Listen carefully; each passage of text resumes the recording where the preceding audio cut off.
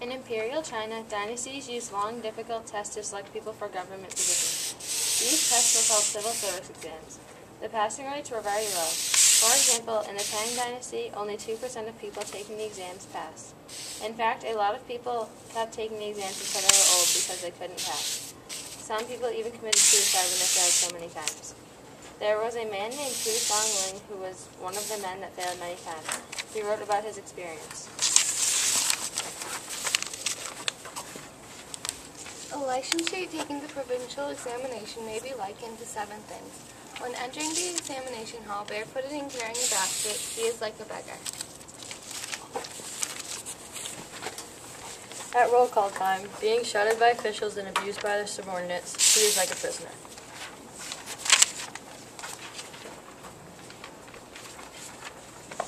When writing in his cell, with his head and feet sticking out of the booth, he is like a cold bee in autumn.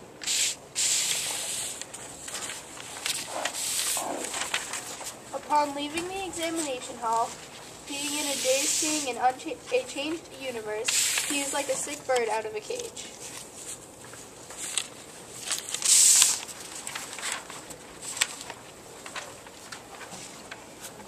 When anticipating the results, he is on pins and needles. One moment, he fantasizes success and magnificent mansions are instantly built.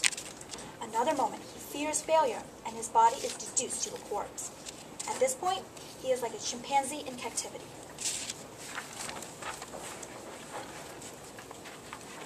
Finally, the messengers come on galloping horses and confirm the absence of his name on the list of, of successful candidates. His complexion becomes ashen and his body stiffens like a poison fly no longer able to move. Disappointed and discouraged, he, he vilifies the examiners for blindness and blames the unfairness of the system.